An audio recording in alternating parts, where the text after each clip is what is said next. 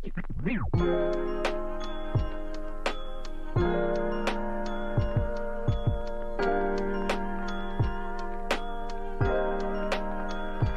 everyone, welcome back to my channel. If you are new to my channel, hi, my name is Shruti Batla. It will make me happy if I take a moment and subscribe to my channel below.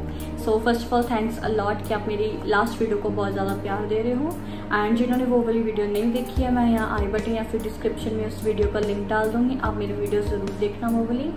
And इस video में मैं आपको एक everyday makeup routine दिखाने वाली हूँ कि मैं अपना एवरीडे मेकअप कैसे करती हूँ। तो चलते हैं अब अपनी वीडियो की तरफ़। सो so, चलिए अब करते हैं अपना मेकअप स्टार्ट तो पहले मैं आप सबको बता दूँ कि अपना मेकअप स्टार्ट करने से पहले हमेशा अपना सीटीएम करना चाहिए। C T M means cleansing toning and moisturising cleansing मैंने अपनी कर ली थी टोनर भी यूज़ कर लिया। अब जस्ट हम सीधा मॉइस्चराइजर की तरफ़ बढ़ते हैं। तो मैं यूज़ कर रही हूँ ये सीटाफिल का मॉइस्चराइज़र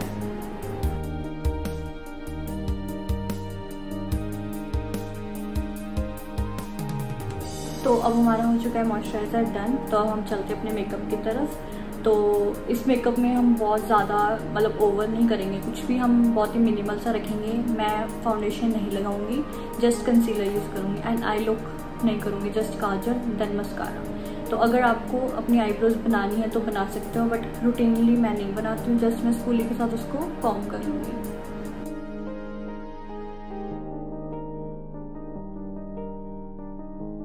तो अब हमारी हो चुकी है आईब्रोज सेट तो हमारा नेक्स्ट स्टेप है कि हम अपना कंसीलर से जहाँ जहाँ हमें लगता है कि हमें कंसीलर की नीड है, हम वहाँ वहाँ अप्लाई करेंगे दैन इसको ब्लेंड करेंगे। तो मैं ले रही हूँ कंसीलर इस ब्रश से जहाँ जहाँ मुझे लगता है मुझे नीड है कंसीलर की, वहाँ वहाँ लगाऊँगी।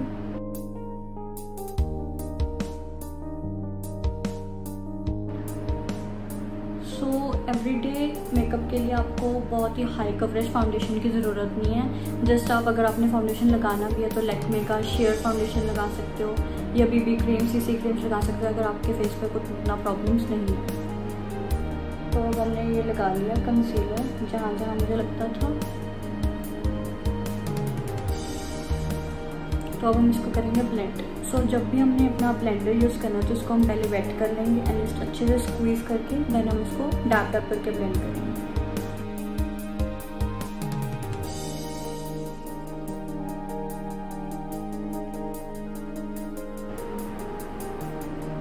सो so, अब हमारी ब्लेंडिंग हो चुकी है डन तो अब हम चलते हैं अपनी नेक्स्ट स्टेप की तरफ़.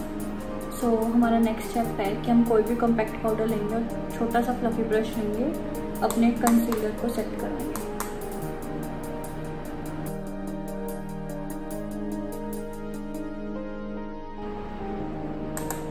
बिकॉज़ हमें एवरीडे इतनी फाउंडेशन की ज़रूरत नहीं होती है ना, इतनी कवरेज की ज़रूरत होती है तो हम थोड़ा सा मिनिमली रखेंगे, थोड़ा नेचुरल लगे।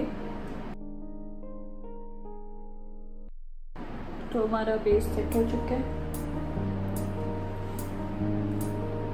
देन हम अब चलते अपने नेक्स्ट स्टेप की तरफ़। तो हमारा नेक्स्ट स्टेप है कि हम ब्लशर यूज़ करेंगे। तो मैं यूज़ कर रही हूँ आई मैजिक की ब्लशर पैलेट तो थोड़ा नेचुरल सा रखेंगे तो हम ये पिंकिश कलर लेंगे। बहुत ही लाइट लेंगे। अगर आप तो आप टिंट यूज़ करते हो तो आप टेंट भी यूज़ कर सकते हो। चीक टिंट जो होता है रेड कलर का। बट मुझे वो क्रीमी प्रोडक्ट्स नहीं पसंद ज़्यादा तो मैं पाउडर प्रोडक्ट्स यूज़ करूँगी। जो हल्का सा लेना है।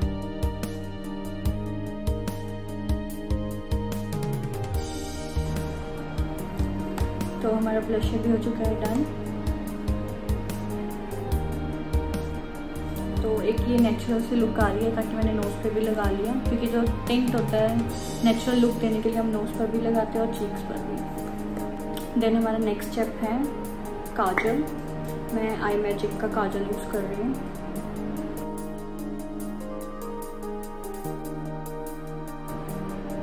अगर तो आपने आईलाइनर लगाना है तो आप आईलाइनर भी लगा सकते हो। वो आपकी प्रेफरेंस है कि आपने क्या यूज़ करना है। तो मैं काजल यूज़ कर रही हूँ देन इसके बाद हम मस्कारा करेंगे। सो मैं मैं यूज़ करने वाली हूँ मस्कारा तो मैं हमेशा लोअर लैश लाइन के लिए जो मस्कारा होता है, देख सकते हो ना, छोटा वॉन्ट है उसका। तो मैं वही यूज़ करती हूँ अपर लैश लैश के लिए भी। बिकॉज़ वो मैसअप नहीं होता। तो पहले हम मस्कारा कैसे लगाएँगे? पहले हम अपवर्ड से लेके आएँगे डाउनवर्ड देन हम डाउनवर्ड से अपवर्ड लेके जाएँगे।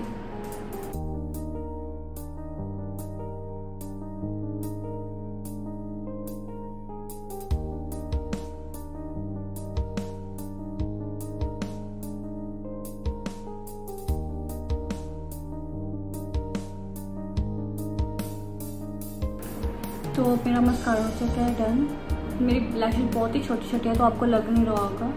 तो बट मैंने कर चुकी हूँ अपना लैशेज तो अब हम यूज़ करते हैं अपना हाइलाइटर तो मैं यूज़ कर रही हूँ ये फॉर एवर फिफ्टी टू का प्रोफेशनल हाइलाइटर पैलेट तो मैं यूज़ कर रही हूँ ये वाला शेड ये टू शेड्स को मिक्स किया डस्ट ऑफ़ किया।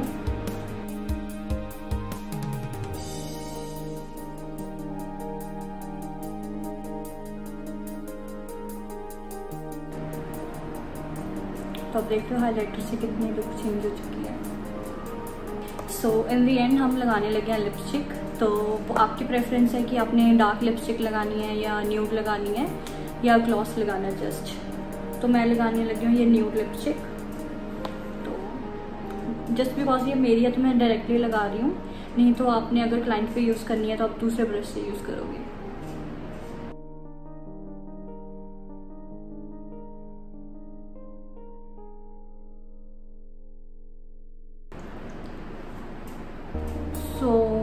मेरी लिपस्टिक हो चुकी है डन मेरा पूरा मेकअप भी हो चुका है डन और जस्ट एंड में हम करेंगे अपने फेस पर फिक्सिंग स्प्रे तो हमने फिक्सिंग स्प्रे लिया उसको शेक किया देन हम अपने फेस पर अप्लाई करेंगे दूर से उसको ड्राई होने के लिए टाइम दो. सो so, हमारी लुक हो चुकी है डन जैसे कि आप देख सकते हो. सो so, आप मुझे नीचे कमेंट करके बताना कि आपको मेरी ये लुक कैसी लगी। और बाय द वे मैंने आज कुछ लेयर ट्राई किया हेयर स्टाइल में। तो आप मुझे बताना कि ये हेयर स्टाइल मेरे को सूट कर रहा है कि नहीं कर रहा। तो अगर आपको ये वीडियो अच्छी लगी हो या मेरी लुक अच्छी लगी हो तो मुझे कमेंट करके ज़रूर बताना। मेरी वीडियो को लाइक करो शेयर करो कमेंट करो और मेरे चैनल को सब्सक्राइब कर लो।